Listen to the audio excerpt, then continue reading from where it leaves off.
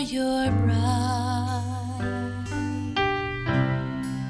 stars in your head,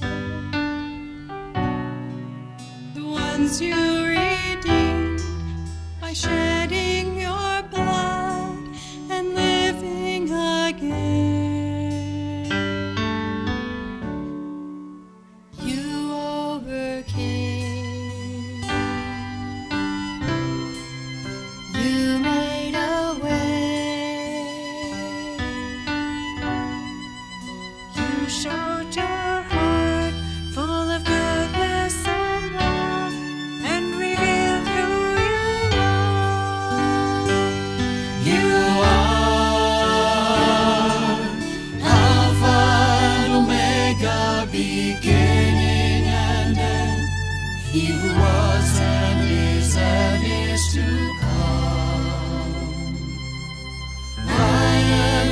Judah.